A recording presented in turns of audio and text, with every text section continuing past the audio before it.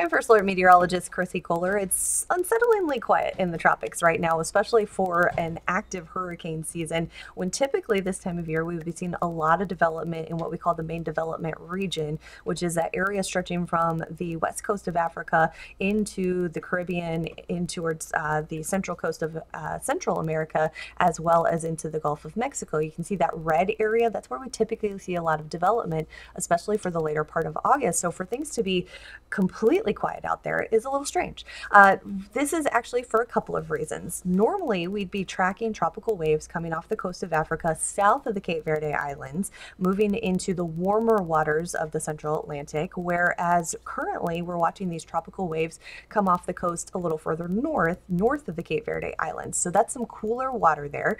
Cooler water inhibits the tropical development, so that's one of the reasons we're not seeing a whole lot going on. The other reason is we've got a lot of Saharan dust that's moving over the those same areas where these tropical waves are entering into the Atlantic Ocean, and that dry air again inhibits the tropical development. Uh, these tropical waves not able to hold on uh, long enough to make it through some of that drier air, so they're falling apart by the time they make it further west out into the Atlantic where there is a little bit more moisture to work with. So right now it looks like the next week and a half through late August, even into the early part of September, looks quiet in the Atlantic. Still doesn't mean that we're in for a quieter hurricane season we still expect that activity to pick back up uh, middle to later part of September, and it is expected to be an above normal hurricane season by the time we fit, wrap things up at the end of November.